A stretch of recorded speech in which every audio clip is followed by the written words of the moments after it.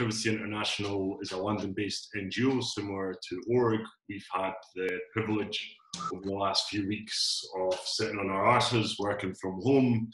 Um, I've been here confined in this room with my two cats who have not had the privilege of being around with me for so long. And what I've been doing is essentially trying to read every single story about how this crisis is leading to more surveillance or having implications with privacy around the world. So, what we're trying to do is track every single example that we can find, summarize what's going on, and then try and explain all the surveillance measures that we've seen. And we're working with a group of activists from around the world to try and get all these together. And they're now all available on privacyinternational.org.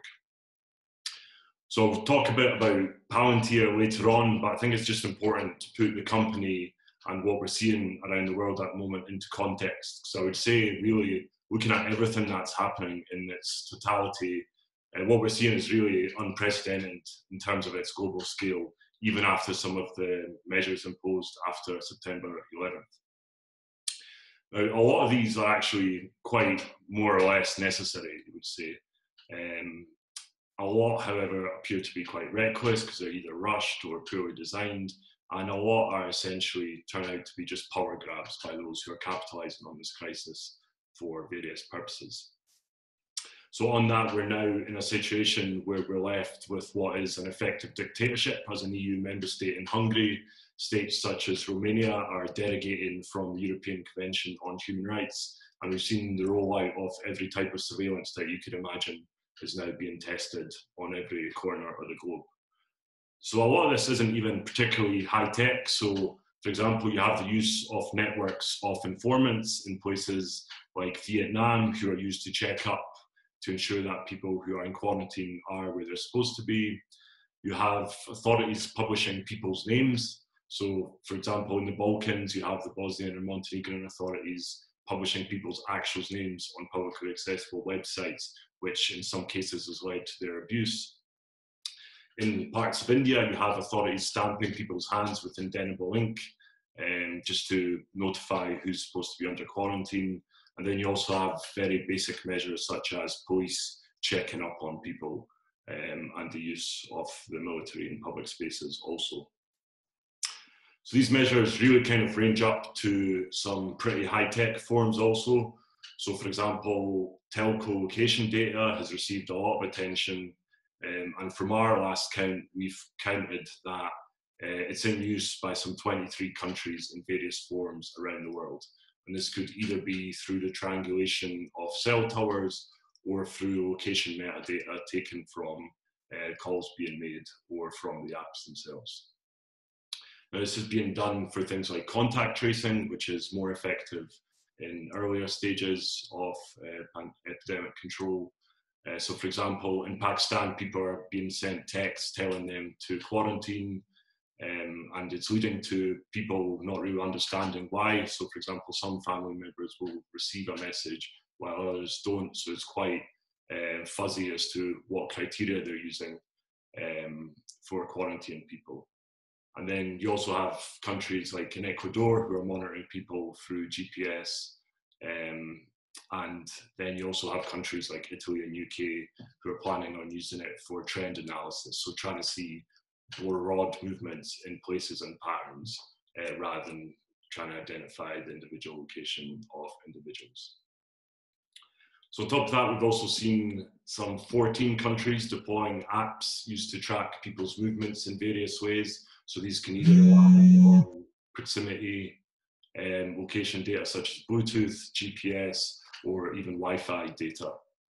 So for example, in Poland, um, you have those who've been ordered to quarantine uh, have to download an app and on request by authorities they have to send a photo of themselves which then also gives their GPS location and their photo is verified using facial matching by the police. In China, um, you have a color coded app, so depending on your risk of contracting the virus, some people are restricted in terms of their access to public spaces or access to public travel uh, based on what color code they have within that app. And in Hong Kong and in Taiwan, I think you also have the use of electronic tags, so bracelets that are linked to an app that make sure that you have to remain in the area that you're supposed to be for quarantine. So on top of these kind of measures, you also have other enforcement techniques that range from the use of drones. So um, I think most famously for us here in the UK by Derbyshire Police, to the utilization of facial recognition networks. So for example, in Russia, um, and then also the wide scale use of travel data, so PNR data from the airlines, for example, or data from public transport such as trains. What we're also seeing is a big bunch of scams and misinformation that's being circulated. And what this has also led to is governments trying to crack down on this in some ways that are better than others. So, for example, unfortunately, we've also seen authorities using it to censor journalists who are questioning official figures or who are questioning the government response. Um, and we've also seen things like authorities in Uzbekistan taking people's phones so that they don't spread misinformation. So we're in this weird place now where reacting to the same crisis, you have authorities in Uzbekistan who are confiscating people's phones, whereas at the same time, authorities in South Africa are actually giving people's phones because they understand that it's a good way of tracking folk, ostensibly. I think going forward, um, what we're going to see. So, for example, if you have a situation where some people will be allowed to return to public spaces or to work and some people aren't, what you expect to see is the rollout of more biometric technology, especially touchless biometric technology that's used to identify people. So, one biometric industry publication summarized it quite well like this. This was yesterday. In the same way that 9 11 created 20 years of security innovation around identity, the coronavirus epidemic will spur decades of security innovation around health status. And I think that's what we're going to see going forward, um, the wide-scale use of biometrics for identity purposes. Now, depending on the context of where these tools or measures are imposed, some are obviously less worrying than others. Ultimately, it needs to come down to ensuring that the response is driven by evidence and particularly health evidence. So, for example, in Israel, which uses both apps and telco tracking by the internal uh, state security agency, a few days ago you had the body which represents medics coming out and saying that they've essentially not involved any health experts in that and they've been totally ignored. So, as well as being a distraction from um, helping with things like making sure that people have access to testing, we're making sure those on the front line have personal protective gear. It's actually distracting from that. And even worse than that, um, by not involving the health experts, you're also quarantining people who you don't need to. So, for example, some people who should be at work helping to deal with this crisis are put under quarantine because of the wrong measures being implemented. And then there's also just ways of implementing these measures that are more lawful, more proportionate, and come with better safeguards. So, for example, you could do things like making sure that there is a statutory footing for the law and making sure that any measures are actually temporary. So, with, for example, a sunset clause in any legislation that comes up. You could allow people to consent uh, based on accurate information about their privacy will be affected and anonymise to the greatest extent, extent that you could do that uh, and make sure people are informed as to the limits of that anonymisation process you have to make sure that there's purpose limitation and that only those who need to actually respond to the public emergency have access uh, and ensure that people have access to judicial rem- remedies after and that there's sufficient oversight into those measures. So, for example, through parliamentary committees or other bodies or regulators. Um, I mean, not, none of that is particularly sexy stuff. It's not as in any way cool as just throwing high tech surveillance or a big surveillance company at the problem, but it's really what you'd expect any authority who cares about the welfare of their citizens to be doing. Um, so that's like kind of legal stuff in addition to some of the technical open solutions that I think I'll be talking about later. What we've also seen happening is that in a attempt to use this essentially an opportunity for companies who are usually anything but transparent to perhaps boast about some of their response. So you have surveillance companies such as NSO Group, which is currently being sued by WhatsApp for targeting the platform as it was being used by activists and others. um, coming up and getting involved and trying to help with the scandal. Uh, social media companies such as Facebook, which has had its own scandals, and big telcos, all now deciding that it's time to open up about their products and their customers. And I think for sure there's likely a deal of opportunism uh, and companies using this crisis as an opportunity to launder their reputations or for profit further down the line. So I think with that, um, completely unrelated to that, it's also worth now just going into Palantir and what is they're doing with the NHS. So for background, Palantir, as Mike said, Silicon Valley-based analytics company founded by Peter Thiel with CIA and other funding, uh, known mostly for its work with intelligence and police agencies.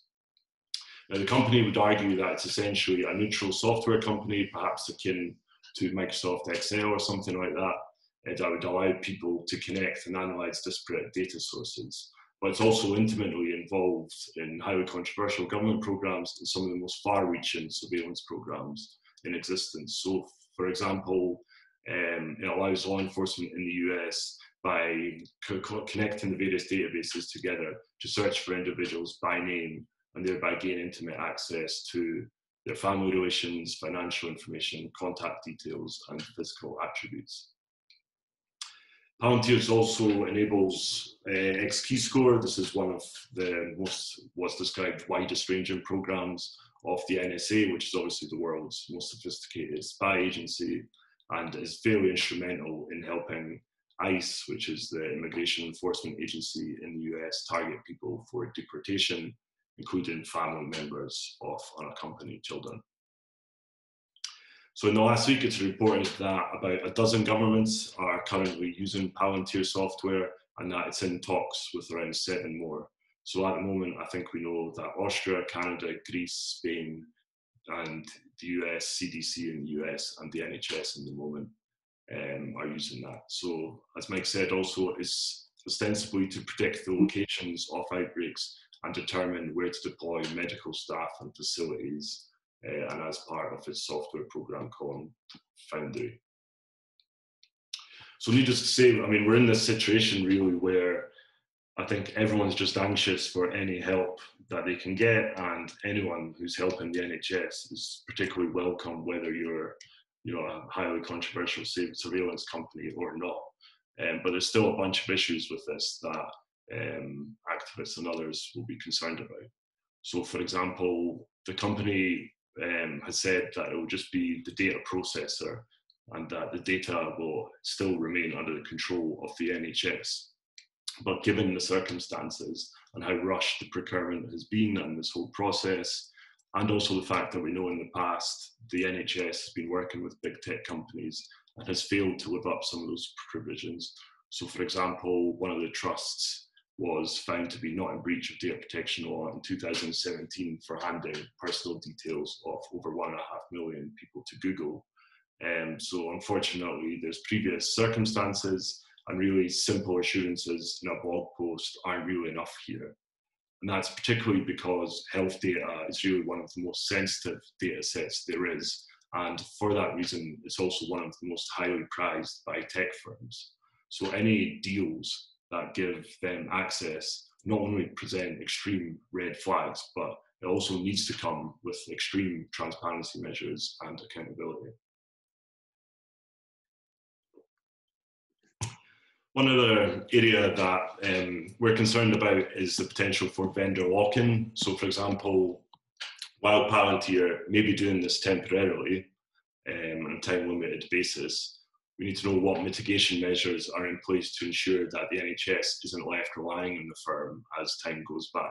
So, for example, in the past, Palantir clients have complained that they aren't able to transfer the analysis that's been generated by the software to new systems.